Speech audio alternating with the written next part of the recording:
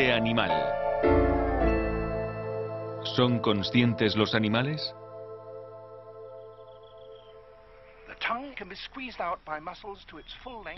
La conciencia es lo que diferencia a los humanos de los animales, o no lo es. Esta es Kate Moss y se llama así porque cuando la recogimos estaba muy delgada. Esa otra tiene un tamaño excepcional, es más vieja y la llamamos mami gorda por lo grande que es. Están felices sentadas a tu lado contemplando lo que pasa o viendo la tele. Mientras reciban un estímulo estarán contentas. Sí, son conscientes. Esta es Niger, nuestra ardilla domesticada. Creo que es consciente. Juega con el perro y se aprovecha de que no le permitimos que sea brusco con ningún animal que entra en casa. He tenido perros desde los cuatro años. Si vives con un perro y lo quieres de verdad, tienes que pensar que es un ser consciente, como nosotros.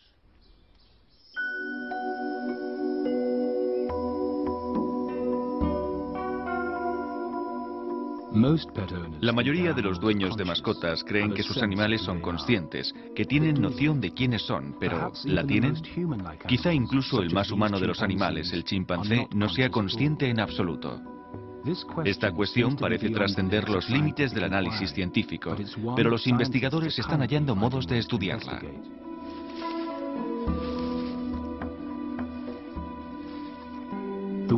La palabra conciencia se inventó hace 300 años para descubrir el hecho de que sabemos que tenemos pensamientos y sensaciones. Nos damos cuenta de lo que experimentamos. Sabemos que existimos. De alguna manera creamos una imagen en nuestra mente de las impresiones que recibimos del exterior. Sentimos, vemos, oímos, olemos cosas. Damos por hecho que los demás humanos perciben de modo similar, pero ¿qué pasa con los animales? Los científicos, como el resto de nosotros, tienen diferentes opiniones sobre esta importante materia. Me he sentido fascinada al estudiar el tema de la conciencia animal. En mis comienzos no hubiera podido estudiar la mente del chimpancé porque se consideraba que solo los humanos tenían inteligencia. Sigue habiendo dos opiniones extremas. Hay gente que antropomorfiza hasta un grado absurdo y cree que los animales son como los seres humanos. Y hay algunos científicos que, de manera fría, piensan que solo los humanos tienen esos atributos. En general, la gente está empezando a aceptar que los animales son seres inteligentes, que sienten y piensan. Por supuesto que ninguno de nosotros sabe si los animales son o no conscientes. En mi opinión, los humanos somos conscientes y los animales no. ¿Tiene Iwan razón? ¿Animales como las mangostas carecen de inteligencia y de conciencia? Estas mangostas que juegan entre la basura en una granja del Kalahari parecen ser conscientes, pero no sabemos lo que ocurre en la mente de una mangosta, incluso si la tiene. Poseen cerebro, sí, pero no podemos saber por intuición si son conscientes. Necesitamos plantear preguntas que puedan responderse mediante experimentos. Para hacer eso debemos definir los posibles tipos de conciencia. ¿Se forman las mangostas una imagen del mundo que las rodea? ¿Se dan cuenta de que hay otras mangostas? ¿De lo que hacen? ¿Y de lo que piensan? Y la pregunta más compleja de todas, ¿es una mangosta consciente de sí misma? ¿Tiene una mente, un yo interior o es en definitiva una máquina biológica? En este documental intentaremos averiguar si los animales poseen este tipo de conciencia.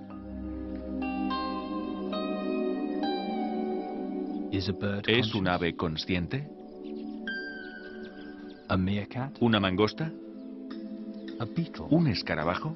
El escarabajo posee sentidos distintos a los nuestros. Puede que tenga conciencia de su mundo, pero es bastante distinta de la nuestra.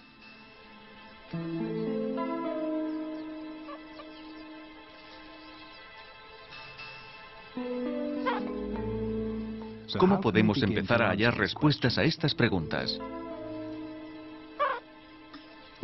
Tenemos que investigar lo que significaría vivir y actuar sin ser conscientes. Por ejemplo, no podemos imaginarnos de qué manera nuestros ojos pasarían información a nuestro cerebro sin que nos enteráramos. Parece inimaginable que viéramos sin tener conciencia de ello.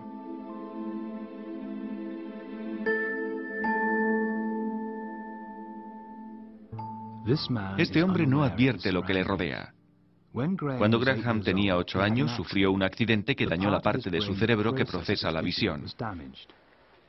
A Graham no le pasa nada en los ojos, pero no es consciente de que ve. Graham tiene visión ciega. Cree que no puede ver nada que esté a su derecha. El profesor Lawrence Winstrack de la Universidad de Oxford ha estado estudiando el cerebro de Graham. Utiliza un láser para proyectar formas sobre el lado ciego de Graham. ¿Has podido ver algo? No. ¿Qué era eso? Un círculo moviéndose en el sentido de las agujas del reloj. ¿Pero lo has visto? No, no he visto nada.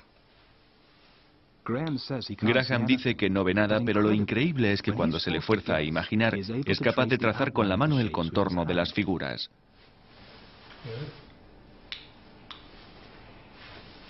Su cerebro recibe información de sus ojos sin que su mente forme una imagen. ¿Podemos encontrar algún sentido a esto? ¿Puede ayudarnos a comprender si los animales son o no conscientes de lo que ven? Graham era un misterio incluso para sí mismo, pero al menos podía decirnos cómo se encontraba. Hace 30 años participé en un experimento. Estuvimos estudiando a una mona que tenía un daño cerebral muy parecido al de Graham. Se había quedado totalmente ciega. Había renunciado a intentar ver. Llevaba 18 meses ciega cuando la conocí. Tuve la corazonada de que ocurría algo que podría revelar una capacidad de visión de la que ni ella misma se daba cuenta. Así que empezamos a trabajar y unos días después la mona empezó a fijarse en lo que yo hacía. Yo sostenía en la mano un trozo de manzana y ella primero la observaba y luego extendía la pata para tratar de cogerla. Pensé que eso era extraordinario porque se suponía que era ciega. Lo que Helen en verdad no tenía, como ocurría con las personas, era la sensación de ver, de que sus ojos percibían la luz, los colores. No tenía esa experiencia. Lo único que tenía era una noción. Helen sabía lo que ocurría a su alrededor. Sabía que había agua en el suelo, que había un obstáculo a su izquierda, lo que fuera, pero no podía sentirlo. Helen nos demuestra que si un mono con un daño cerebral no es consciente de que ve, un mono normal podría serlo.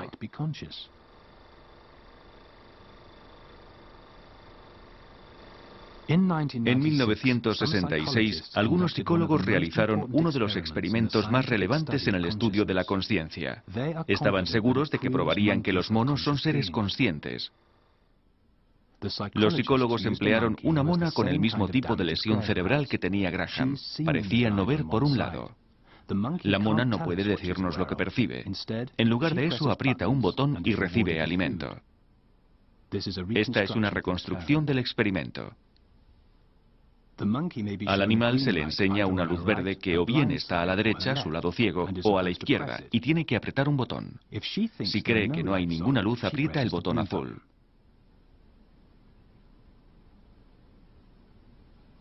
Cuando se enciende una luz a la izquierda, la mona aprieta el botón. Esto está bastante claro. Si ninguno de los botones verdes está encendido, ella aprieta el botón azul. Así nos hace saber que no ve ninguna luz verde. Cuando se enciende una luz verde a la derecha, su lado ciego, la mona aprieta el botón y hace lo mismo con el botón azul. La mona puede ver la luz verde, por eso la pulsa, pero no se da cuenta de que la ve, por eso también aprieta el botón azul. Igual que Graham, la mona no es consciente de lo que ve. Por regla general, el cerebro de un humano y el de un mono procesan la visión siguiendo este camino, y cuando eso ocurre, los monos y nosotros nos damos cuenta de lo que vemos. El cerebro de Graham se ha adaptado de tal manera que usa un antiguo camino a través del cerebro medio que procesa su sentido de la vista. Su cerebro procesa la información pero no ve ninguna imagen. Él no es consciente de que ve. Animales como las musarañas y las palomas solo tienen este camino y su cerebro procesa la información que recibe de los ojos del mismo modo que Graham. Puede que vean sin advertirlo.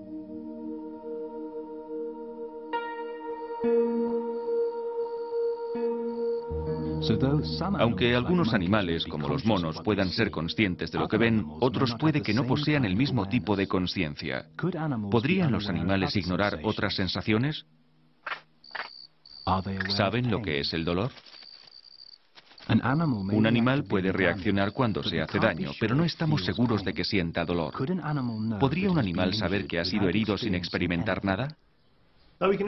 Podemos ilustrar los problemas estudiando el comportamiento de un robot relativamente sencillo.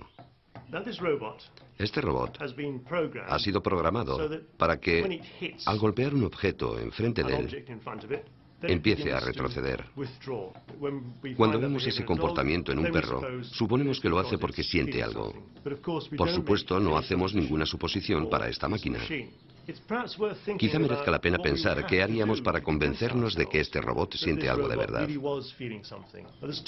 Hay dos cosas obvias que podríamos hacer. Una sería hacer que se pareciera a un animal. Estamos tan imbuidos de la idea de que los animales sienten que si cubriéramos a este robot con pelo y le pusiéramos ojos, nos inclinaríamos a creer que siente algo. Lo segundo que podríamos hacer es conseguir que hable.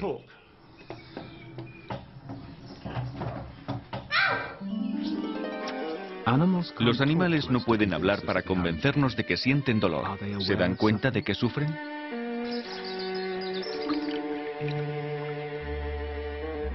Los pescadores en general afirman que los peces no sienten dolor, pero ¿podría ser este pez consciente?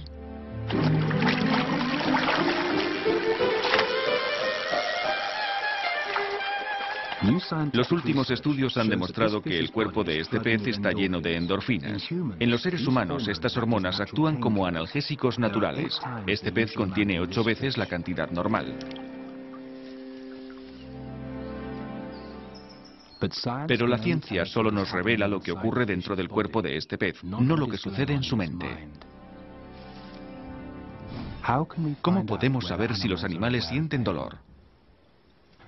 La profesora Temple Grandin, experta en desarrollo animal, padece un tipo de autismo que en su opinión le hace tener la misma clase de conciencia que los animales que estudia. Yo pienso con imágenes.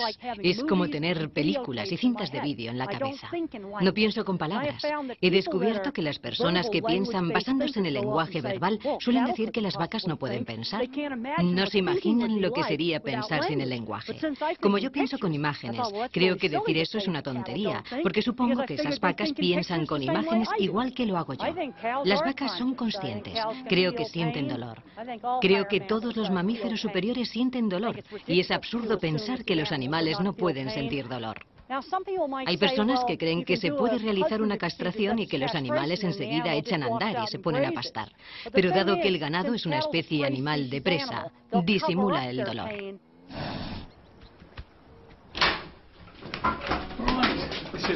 Este es Beck, una castración. Vamos a escuchar tu corazón. Bien. Va a ser castrado.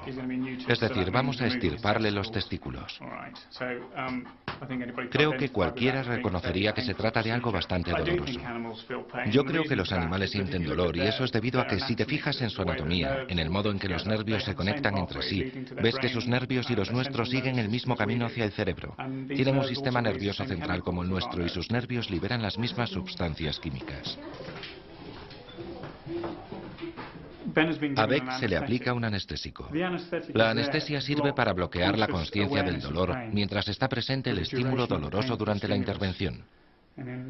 Así los animales se recuperan mucho mejor y su estado mental es satisfactorio si les aliviamos el dolor.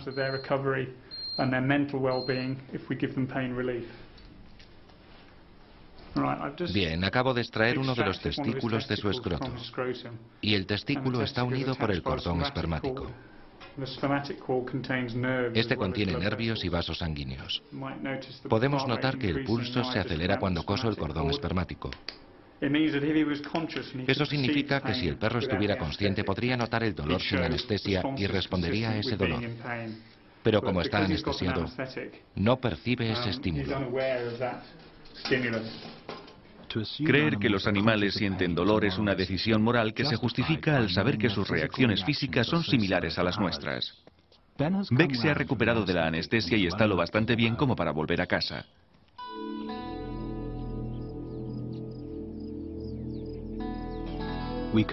Podemos buscar similitudes entre nosotros y los animales en otros aspectos de la conciencia que van más allá de sentir dolor. La mayor parte del tiempo somos selectivos con respecto a lo que nos enteramos y algunos animales parecen tener también esta habilidad.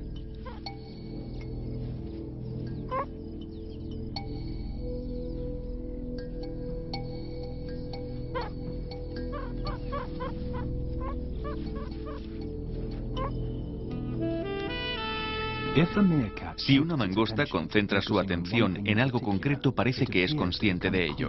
Su atención es como el destello de una linterna.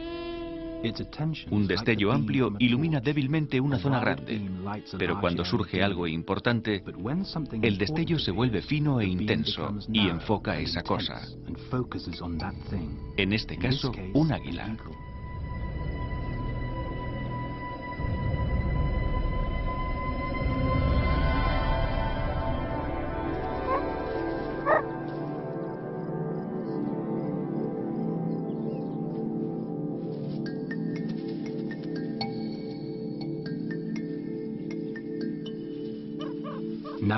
Ahora que pasó el peligro, puede fijar su atención en otra cosa o en nada en absoluto.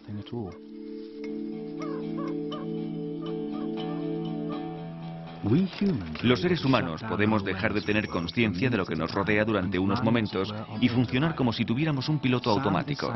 Sam regresa a casa en bicicleta, pero su mente consciente no presta atención. Aunque no nos concentremos, podemos cambiar las marchas y seguir el camino correcto, pero tenemos la mente en otra parte. Ya llega el fin de semana y voy a quedar con esa chica. Pero si ocurre algo de repente, volvemos a enterarnos de lo que estamos haciendo. Perro estúpido.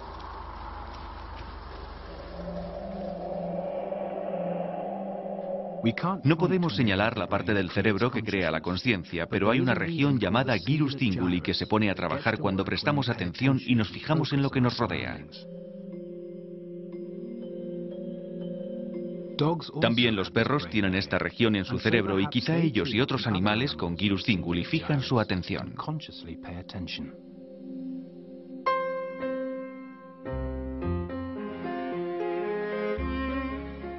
Si la biología y las respuestas de un animal son similares a las nuestras, pueden tener una conciencia similar, pero ¿podría una criatura por completo diferente de nosotros ser consciente? Hay una prueba para saber si los animales se forman una imagen de su entorno. Imaginemos que nos vendan los ojos y nos llevan a una calle de una ciudad que conocemos. Una vez que nos quitamos la venda, ¿cómo sabríamos dónde nos encontrábamos? La mayoría nos formaríamos una imagen mental de la ciudad y la emplearíamos para averiguar nuestra situación. Visualizaríamos el mejor camino para ir desde donde estamos a donde queremos ir. ¿Tienen imágenes mentales los animales? Si es así, ¿demostraría eso que son conscientes? Según un investigador, este insecto podría tener un alto nivel de conciencia. Llevo 26 años trabajando con abejas de la miel y siempre me han entusiasmado por su complejidad, su comportamiento social y el modo inteligente en que viven. Lo que pueden ver en la pantalla es una serie de secciones que atraviesan el cerebro de una abeja desde la parte frontal a la posterior. Y los distintos colores muestran las distintas franjas de células que controlan las actividades y el comportamiento general de las abejas. Si observamos a una abeja en particular,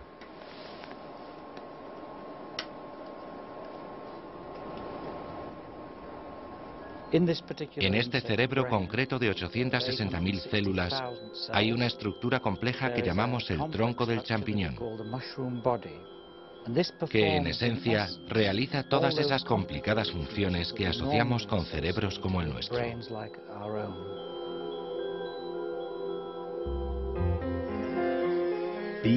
El cerebro de las abejas puede funcionar más o menos como el nuestro, pero ¿tienen imágenes mentales de su mundo? Para averiguarlo, uno de los colaboradores de Rob ha enseñado a las abejas a volar desde su colmena hasta este comedero donde se las premia con azúcar.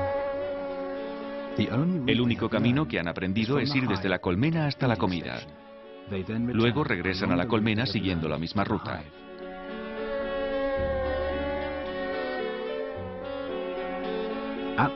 En la colmena las abejas descargan todo el néctar y vuelan al comedero. Pero el investigador tiene otro plan. Mete a una abeja en un recipiente opaco y la deja unos cientos de metros más allá. Cuando la suelta esta no puede ver el comedero ni la colmena, porque el seto está en medio. Tiene que orientarse reconociendo dónde se encuentra.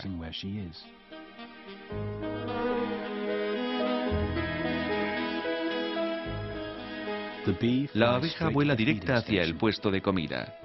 Esto demuestra que la abeja tiene una imagen mental de toda la zona, un mapa mental, aunque no podamos estar seguros de si es consciente de tener esa imagen en la cabeza.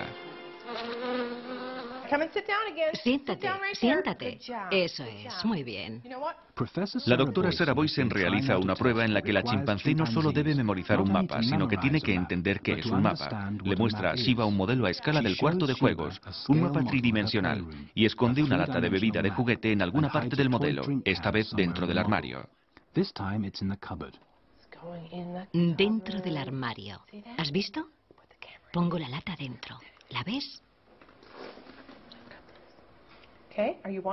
Esta es la lata de verdad. Recuerda que hemos puesto la pequeña dentro. Ahora quédate quieta. Es solo un momento. Quédate ahí. Sara esconde la bebida real dentro del verdadero armario. La tarea de Shiva es encontrarla.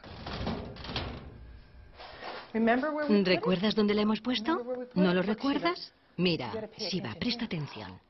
Ahí está. Ahí está, en el armario. ¿Es fácil? No. Shiva tiene que entender que el modelo representa la habitación real.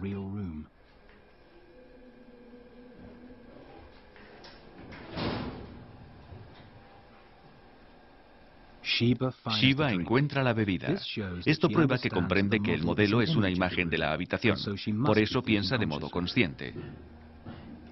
Animales tan distintos como las abejas y los chimpancés parecen tener imágenes en la mente. Los humanos vinculamos las imágenes a la creatividad y la imaginación.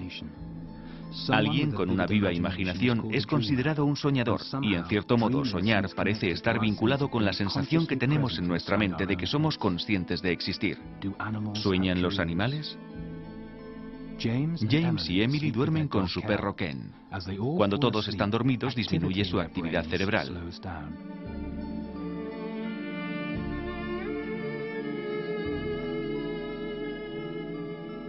Pero después de una hora y media parece que sus cerebros vuelven a ponerse en marcha y están tan activos como cuando los niños y el perro están despiertos.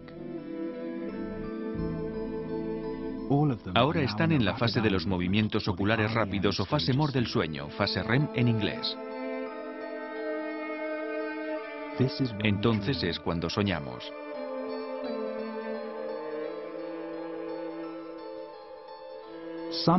Algunos animales, como los perros, experimentan esa fase REM. ¿Es esto una prueba de que sueñan? Estoy segura de que Ken sueña que caza conejos porque se mueve nervioso mientras está dormido.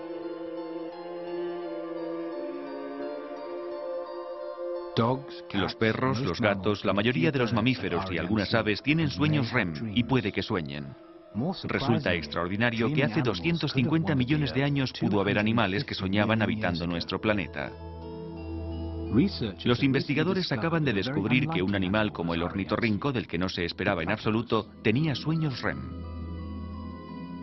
Esta criatura evolucionó hace millones de años. Los científicos no creían que animales tan primitivos como este podían tener sueños REM.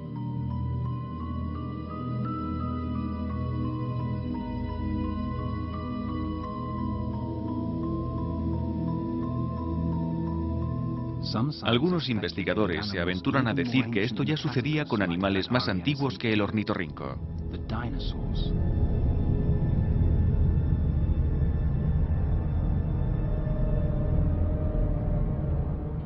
Como los dinosaurios. ¿Soñaban los dinosaurios? ¿Qué clase de pesadillas tendrían?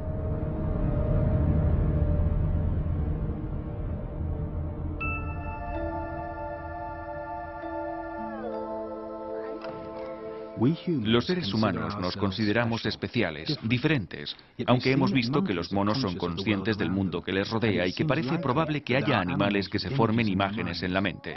Incluso puede que algunos sueñen. Pero solo nosotros poseemos el lenguaje. Algunas personas defienden que el lenguaje es lo que nos hace de pleno conscientes.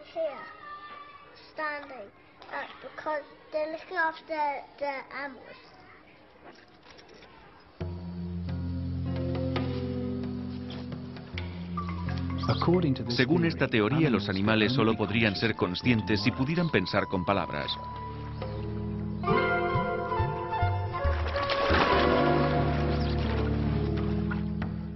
Pero ¿carecen de lenguaje o no?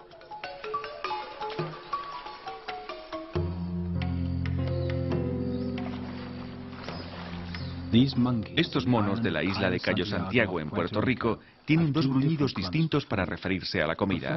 El profesor Mark Hauser de la Universidad de Harvard cree que estos gruñidos equivalen a palabras. Mark cree que uno de estos gruñidos es para la comida aburrida, como la comida corriente de un mono, es como si el animal dijera patatas. Otro gruñido es para la comida apetitosa, como los mangos, que más o menos serían caviar para un mono. Si los monos pensaran con palabras, ¿sería eso una prueba de que son bastante conscientes?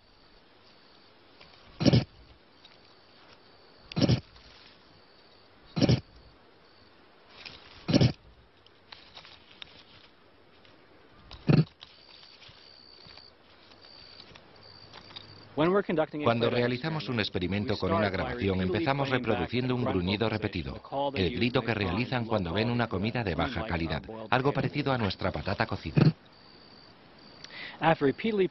Tras reproducir el sonido varias veces, el animal deja de responder, sobre todo cuando está frente al altavoz.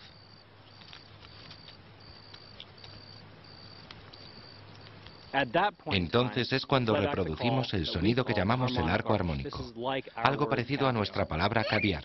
Y cuando oye este sonido, de pronto el animal se detiene y se da la vuelta hacia el altavoz como si hubiera renovado su interés por el sonido reproducido.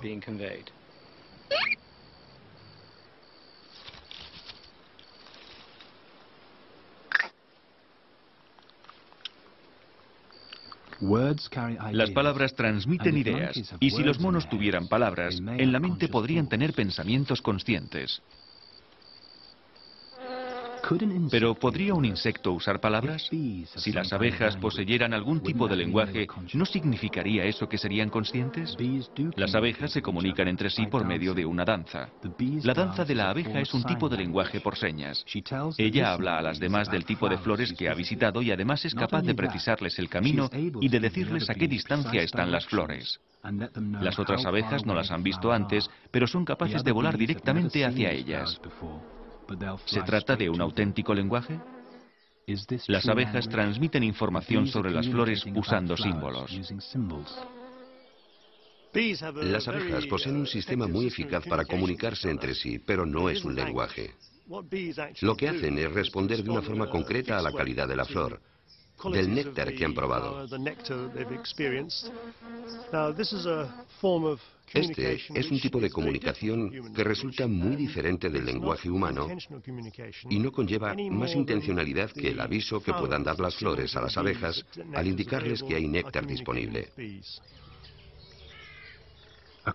Según Iguan, las abejas no son más conscientes que las flores.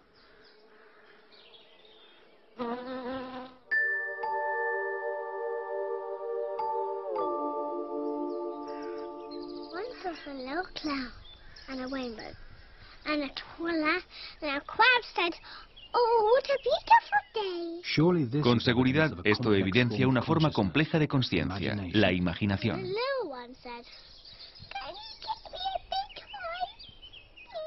Alice ha creado un mundo imaginario en su mente. Tiene tres años y posee un lenguaje lo bastante avanzado como para dar forma a su imaginación.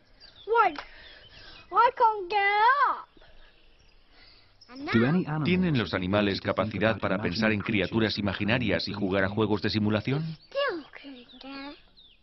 En América hay por lo menos un animal que parece poseer una imaginación activa. Es asombroso que podamos empezar a entender su mundo íntimo porque ella misma nos habla de él. Bambanisha es una bonobo, una chimpancé enana. Desde que nació ha estado en contacto con el lenguaje, igual que un niño pequeño. Ha aprendido un lenguaje simbólico. Cada uno de estos símbolos representa una palabra. Su vocabulario es tan extenso como el de un niño de dos años, pero sus cuidadoras creen que su comprensión del inglés está mucho más desarrollada.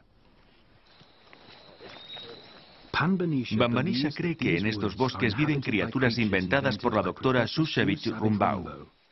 Una de estas criaturas se llama Bunny. Bunny suele dejar regalos a Bambanisha. ¿Te ha dejado algo, Bunny? Uy. A ver qué dice. Bunny te ha dejado esta nota. Mira. Bambanisha ha cogido una nota en la cabaña. Como todas las notas que Sue deja en nombre de Bunny, está escrita con los mismos símbolos que Bambanisha emplea. La comida está escondida junto al río. Gracias, Bunny. Parece que Bambanisha ha entendido la nota y no tiene problema en acercarse al río donde Bunny ha dicho que estaría esperando la comida.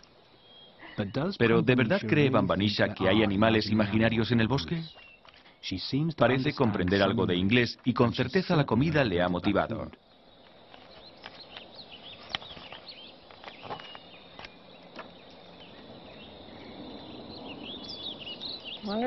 Creo que se lo va a beber todo. Tiene mucha sed. Tras beberse el té, Bambanisha vuelve al bosque. ¿Estará todavía pensando en Bunny? Quiere que abras el coche.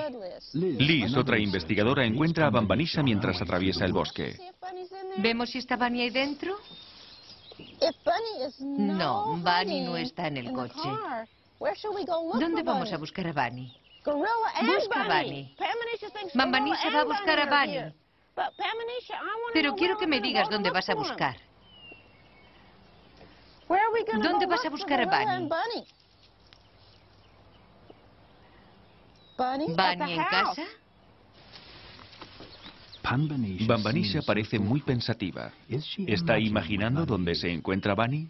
Si lo hace, esta es la primera vez que se filma a un animal absorto en su propio mundo inventado.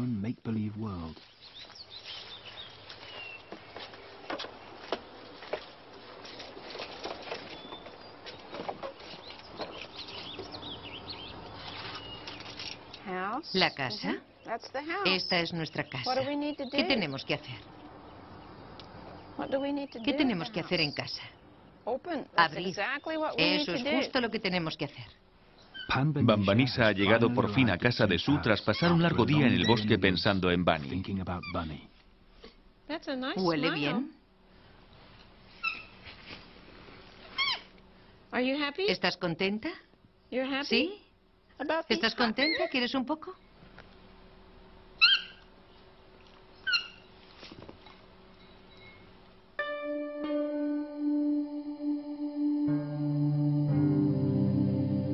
Uno de los principales rasgos de nuestra conciencia es que somos conscientes de nosotros mismos, sabemos que existimos.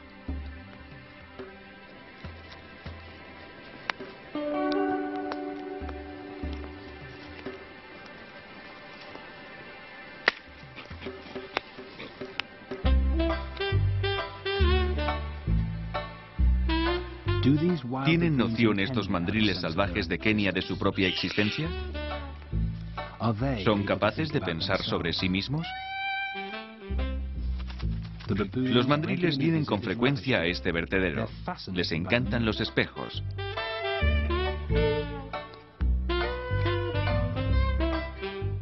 Cuando nos miramos al espejo nos identificamos con la imagen reflejada. Tal vez los mandriles hagan lo mismo.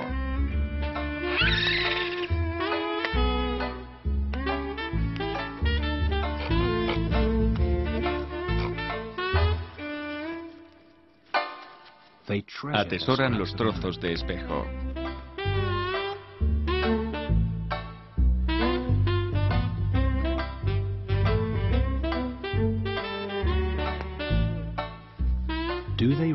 ¿Se reconocen en la imagen del espejo?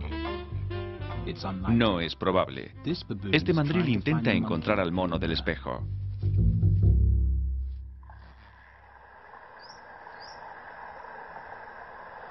El doctor Ken Martin de Vida Marina en Hawái coloca un espejo en el acuario de los delfines.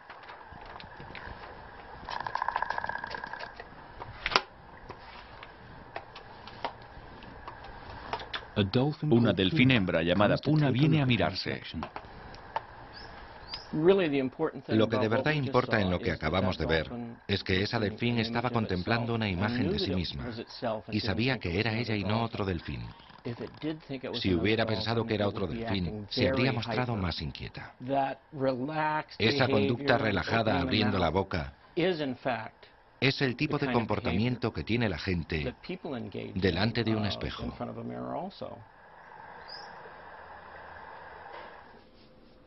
Es difícil demostrar si los delfines y los chimpancés reconocen su imagen reflejada. Bambanisha ha crecido rodeada de espejos, pero ¿sabe si la imagen del espejo reflejada es ella misma? Sin duda sabe cómo usar uno.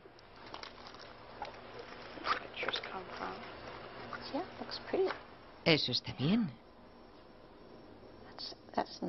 Puedes pintarte los labios. ¿Huele bien? Te faltan los bordes. Así te mancharás los dientes si abres tanto la boca.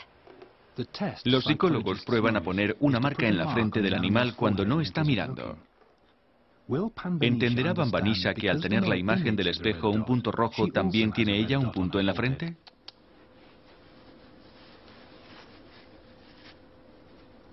No todos los psicólogos creen que la prueba del espejo demuestra que el animal tiene conciencia de sí mismo, pero debido a que Bambanisa puede comprender el lenguaje, puede decirnos quién está en el espejo. Abre la boca. Mira. ¿Puedes decirme quién está en el espejo? Sí, es Bambanisa. ¿Eres tú?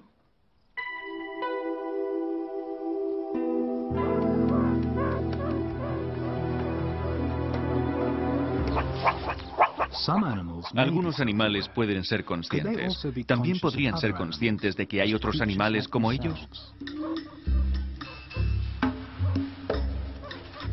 Ante el peligro, las mangostas se unen para protegerse de la serpiente. Parecen coordinar su comportamiento.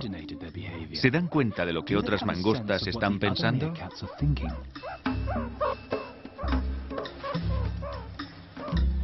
Darse cuenta de lo que piensa un animal requiere un alto nivel de conciencia y solo un animal consciente puede hacerlo. La mayoría de los científicos cree que somos la única especie que posee esta habilidad especial.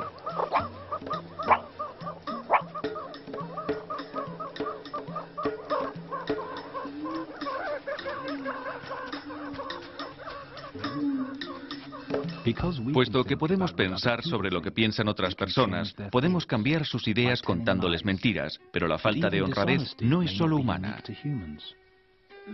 Mi urraca era un pájaro muy curioso, era un imitador extraordinario, podría imitar todo tipo de cosas. Esta urraca utiliza su singular habilidad para engañar a los perros. Una de las cosas que imitaba muy bien era la llamada de aviso de los patos del lago cuando el zorro que vivía en el jardín pasaba demasiado cerca de ellos. Estos lanzan un sonoro una especie de señal de alarma. La urraca aprendió a imitarlos y le divertía hacer ese sonido y ver cómo los perros, a los que siempre engañaba, se levantaban de un salto creyendo que eran los patos y corrían al jardín para atrapar al zorro. Y cuando lograba engañar a los perros, la urraca se arreglaba las plumas, lo que solo hacía cuando disfrutaba mucho con algo. Cuando la urraca hacía eso, no podías evitar unirte a la broma al ver a los perros saltar de su jergón, como si estuvieran locos.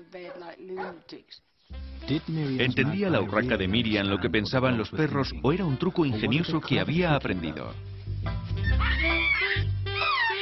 En los bosques húmedos de Gombe, en Tanzania, los mandriles juegan con los chimpancés.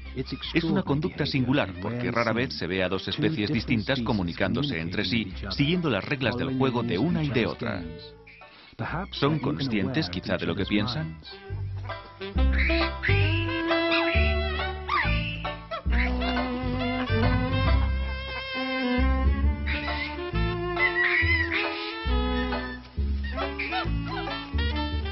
A menudo los animales parecen ser inteligentes y astutos, pero en general se limitan a observar lo que otros animales hacen. Para probar que un animal podría ser consciente de lo que piensa otro animal, hay que hacer un experimento. ¿Podría esta chimpancé, Pansy, tener conciencia de lo que piensa una persona? Pansy, ¿qué comida quieres? Pansy usa los símbolos de un ordenador a modo de palabras para decirle a John Kelly, uno de sus amaestradores, lo que quiere comer.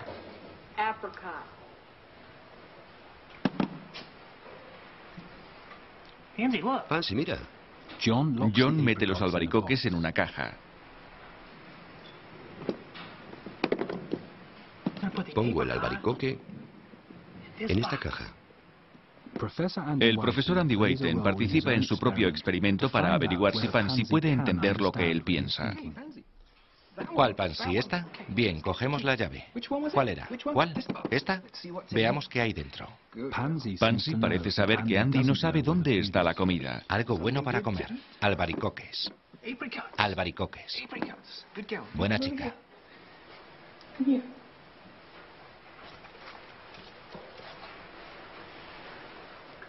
Buena chica. Ahora le toca a Andy esconder la comida. Lo ponemos aquí. Pansy. Pansy. Pansy. ¿Lo ves? Aquí dentro, bien.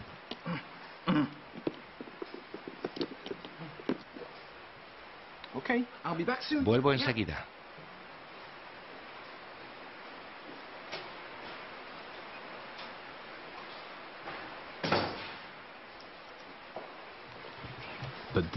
Pero esta vez John va a ponerle las cosas más difíciles a Pansy. Deja las llaves en otro lugar. Pansy, Pansy, mira aquí. Pongo la llave aquí. Andy no sabe dónde están las llaves. Pansy sabe que Andy lo ignora. En vez de señalar a la caja, señala a las llaves, demostrando que entiende lo que Andy está pensando. ¿Qué hay aquí? A ver qué hay aquí. Pansy no ha sido entrenada para esto. Parece que es una habilidad natural que tienen los chimpancés. Bien. Aquí está. Buena chica. Quizá no sea una sorpresa que Pansy y Bambanisha posean un tipo complejo de conciencia. Han crecido con personas, utilizan una forma simbólica de comunicación y sobre todo sus cerebros son como los nuestros.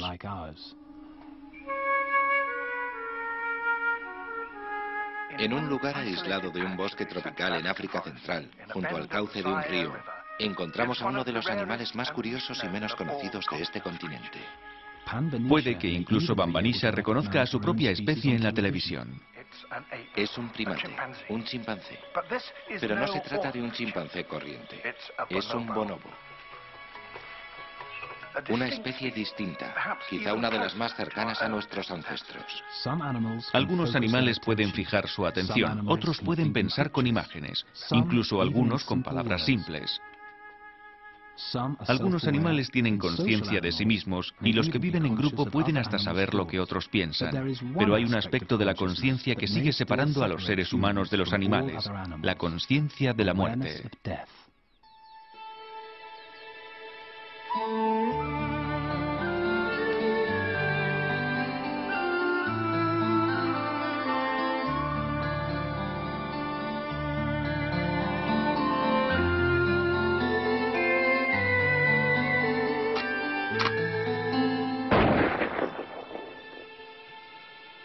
El venado es sacrificado en la selección anual de ciervos. Los demás ciervos se asustan por el ruido, pero enseguida siguen comiendo junto a su compañero muerto.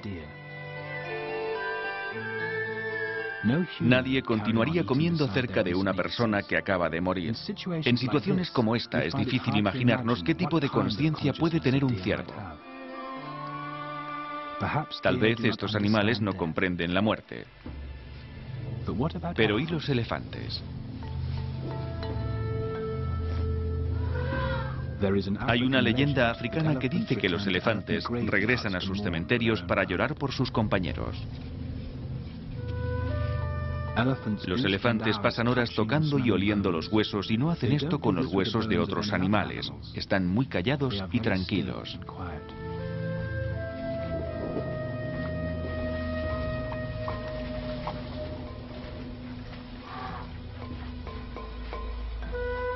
No sabemos lo que les pasa por la cabeza, pero es posible que compartan ese rasgo humano de tener conciencia de la muerte. A lo largo de la historia, la gente ha creído que la identidad de cada uno sobrevive a la muerte, que continúa viva en el alma inmortal. Si también los animales son conscientes, esto plantea alguna que otra pregunta. Tenemos que preguntarnos si los animales, los perros, los insectos, las babosas tienen alma. Y no solo eso. Hay que preguntarse qué ocurre con el alma de un animal cuando muere. Nuestras almas van al cielo, según queremos. ¿Las almas de los animales van al cielo? Si es así, todos los animales tienen alma. Entonces el cielo va a ser un lugar abarrotado. Haya o no sitio para ellos en el cielo, tenemos que enfrentarnos al hecho de que algunos animales parecen tener una conciencia del mundo bastante similar a la nuestra.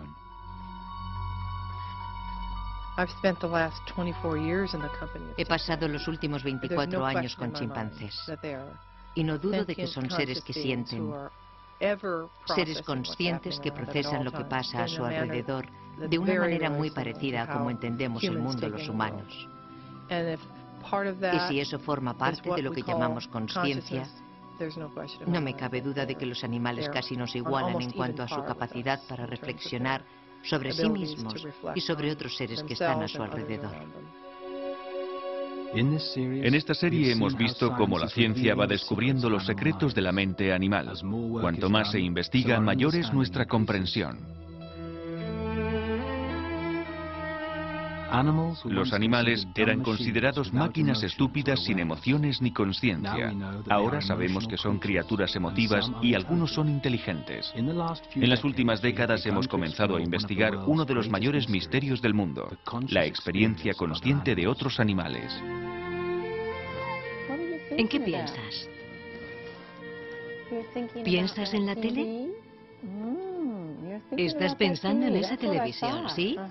¿Qué hacen en la tele? ¿Qué ves? ¿Qué ves?